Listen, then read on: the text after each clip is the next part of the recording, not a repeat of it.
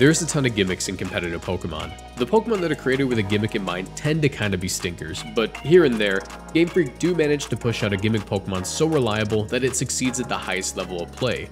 Today we'll be discussing the gimmick Pokemon that work in VGC, the official competitive Pokemon format, and see why they function. Hopefully this dive into gimmick mons will allow us to take a look at what makes them work and how they function differently from the gimmick Pokemon that don't work. If you enjoy, be sure to leave a like and subscribe for more competitive Pokemon content. But let's get into it. I like to go chronologically with these things, so let's begin with the original gimmick Pokemon. Ditto is a Pokemon with some pretty unremarkable stats. As a matter of fact, it's not just unremarkable, it's actually pretty remarkably bad. With 48 in each stat, Ditto has a base stat total of just 288, which is the same as Meowth by the way. It effectively has the stats of an early game Pokemon and relies on its move Transform to get anything done. This move allows for Ditto to copy any Pokemon it targets, getting its stats, moves, and stat changes. The only thing it doesn't gain is its HP stat, meaning that Ditto will almost always be a frailer version of this Pokemon. While Ditto does have access to the ability Imposter, being an immediate transform on the turn it hits the field, this isn't typically ran in VGC. Players opt for Limber because you actually get more value game to game from Ditto by being able to copy your own Pokemon. You don't exactly have any control over what your opponent brings, but you do have full control over what you bring. Typically, we only see Ditto find some niche usage in restricted formats where legendary Pokemon like Zacian and Kyogre are available. This is because it's the only environment where you really get the bang for your buck that you need to justify using this thing. I mean, what could be worse than a Geomancy Xerneas? Oh, I know. Two Geomancy Xerneas. Since you're only allowed to use two restricted Pokemon per team, you can sort of cheat the system by gaining a third if you use Ditto. Typically, players run a very basic EV spread of max speed and max HP with a speed boosting nature and a choice scarf. This allows you to hit a speed stat of 165, which is enough to outspeed speed boosting nature Pokemon up to 97 base speed. My game theory for why Urshifu is 97 base speed is literally just that Game Freak knows that if it made it any faster, Ditto would be completely unviable. So th that's just like my little theory. Basically, Ditto is a gimmick Pokemon that is complete garbage unless it has a bigger fish that it can copy. Literally, like it need it has to have bigger fish to fry.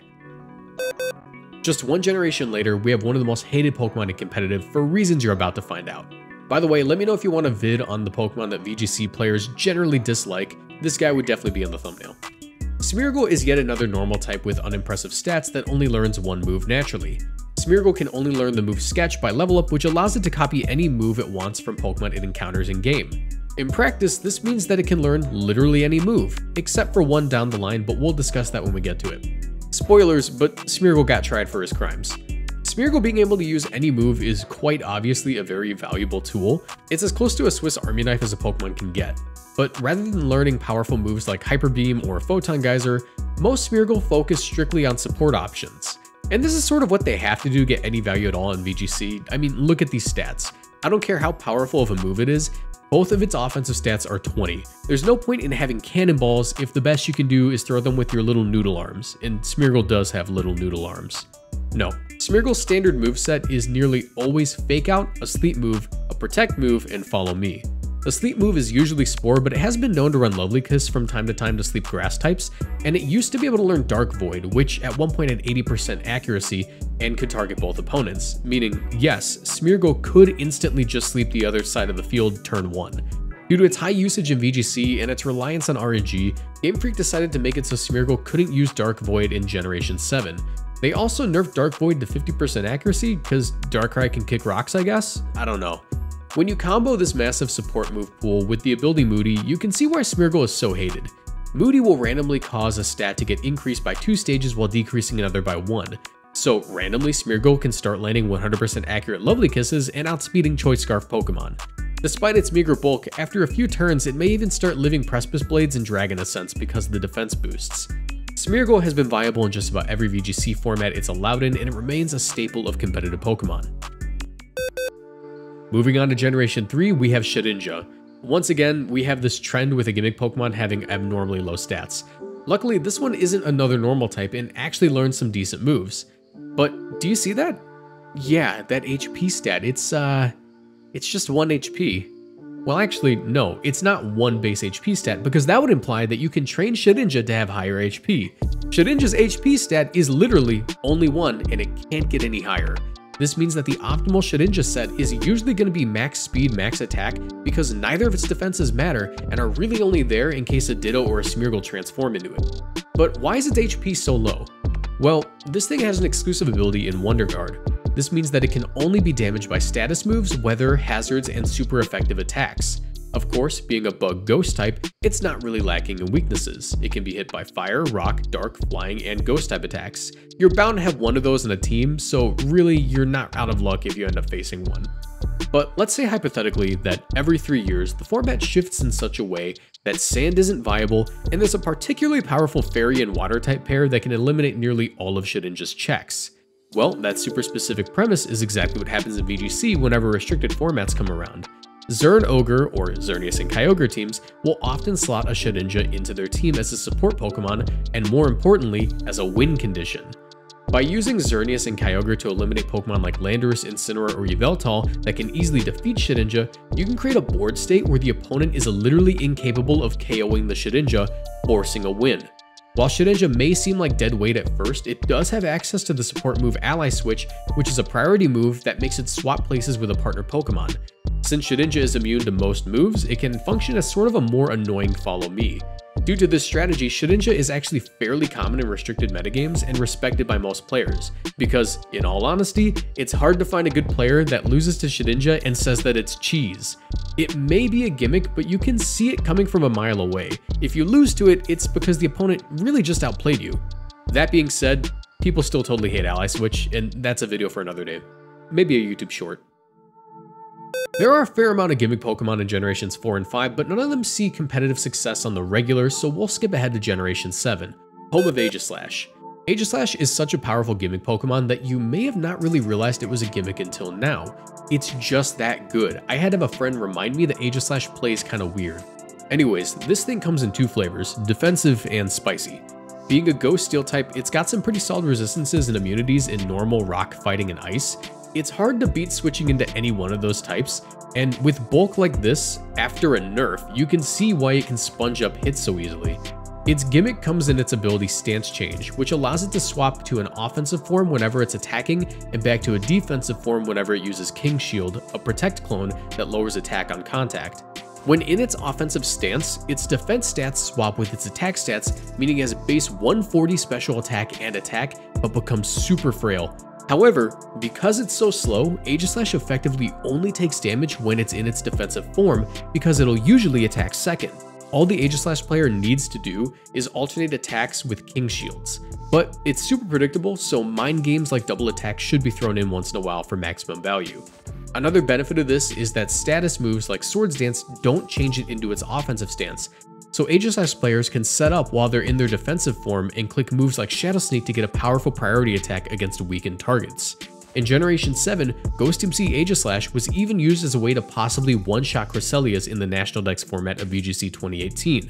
Aegislash was a pretty common sight in Generation 6 and 7 VGC, however, due to Dynamax turning King Shield into Max Guard, in Generation 8 it couldn't maintain its playstyle while Dynamaxed, so it was always a glass cannon. But make no mistake, Aegislash was still a threat in nearly every format it was allowed in because of its incredible burst damage and utility. Moving on to Generation 7, we have just one gimmick Pokemon that truly saw competitive success. Araquanid was a bug water type with pretty great bulk but meager offensive stats. But its ability Water Bubble made up for this, turning Araquanid into one of the most threatening wall breakers in the game. While Araquanid's attack stat was only 70, Water Bubble gave it double power on all water moves along with a fire resist and immunity to burns. For reference as to how strong this was, a Choice Banded Araquanid's liquidation would do 40 to 47% to max HP Tapu Fini, a ridiculous amount when you realize that Tapu Fini was one of the bulkiest Pokemon in the game and resisted water moves. It's even crazier when you realize that if Liquidation gets the defense drop, it's a guaranteed 2-hit KO, while even avoiding activating a Sitrus or Wiki Berry. Waterium Z Araquanid on Trick Room teams was also nothing to scoff at, dealing a clean 60 to 70% to Kartana and being a roll to KO if helping handed or in rain. Not only did Araquanid have this powerful water stab in its arsenal, but had great bulk to back it up, with the Assault Vest sets being able to cleanly eat a Tapu Koko Thunderbolt in electric terrain. Araquanid even had another thing going for it in its totem form, which allowed it to be heavy enough to avoid getting sky dropped due to Pokemon not being able to lift it since it was over the weight limit. Araquanid remains a solid Pokemon in every format it's available in despite not being at the top of its game like it was in Generation 7. Coalossal in Generation 8 was such a solid gimmick Pokemon that it even has its own video on this channel that you all should check out. But long story short, it was the face of Dynamax in Generation 8.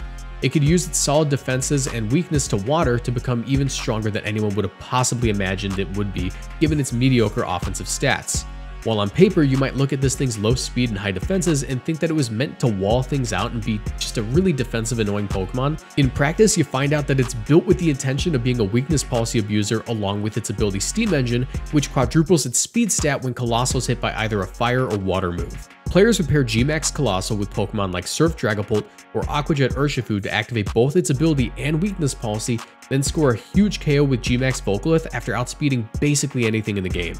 This rock move not only did massive damage on impact, but also laid hot coals in the field that would damage all non-rock type Pokemon for one-sixth of their health over the next 4 turns. That is two-thirds of the health for free. Like I said, I have a whole video about Coalossal that goes in depth as to how its playstyle developed and how it worked, but you can check that out after this video, so we'll keep it brief and move on to Generation 9. Dondozo and Tatsugiri are the first gimmick Pokemon that have an ability which only activates when both Pokemon are on the field. If Tatsugiri has the ability Commander when next to Dondozo, it will hop into its mouth and grant Dondozo plus 2 in all of its stats. However, Tatsugiri isn't able to select moves or be damaged while in Dondozo's mouth. This effectively turns every Dondozo match into sort of a 2v1 boss fight. Yes, Dondozo is able to snowball its attack stats with the move Order Up, which will give it a boost to a stat depending on what form of Tatsugiri is in its mouth. However, the Dondozo playstyle that has taken off the most since its release is a team consisting of Dondozo and Tatsugiri, alongside a Glimmora to lay Toxic Spikes and some more powerful fast attackers that deal with Pokemon that would otherwise be able to KO a Dondozo. This turns Dondozo teams into sort of pseudo-stall teams, where every turn the opponent isn't able to KO Dondozo, it gains back health from leftovers while the opponent is chipped down by Earthquake spam and poison from the toxic debris.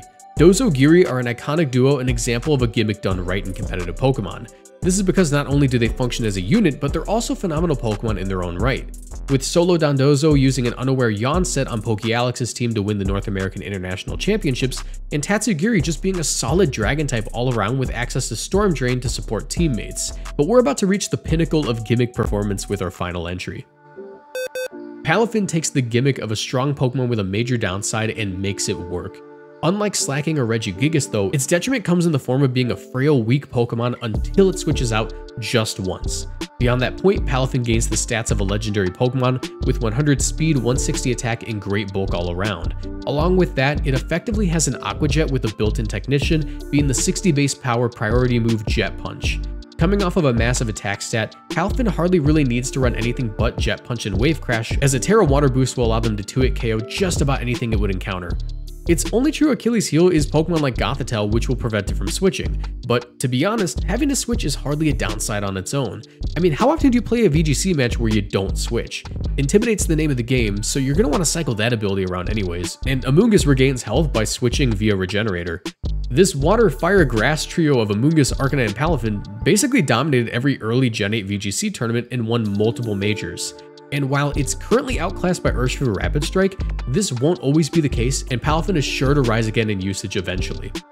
To close things out, a trend you'll notice with all the gimmicks that actually function well in competitive Pokemon is that the gimmick has to either function to grant the Pokemon a niche that other Pokemon can't fill, like the case with Smeargle or Ditto, or is simply an extra mechanic that allows for mediocre Pokemon to become a very strong one, such as the case with Araquanid or Coalossal.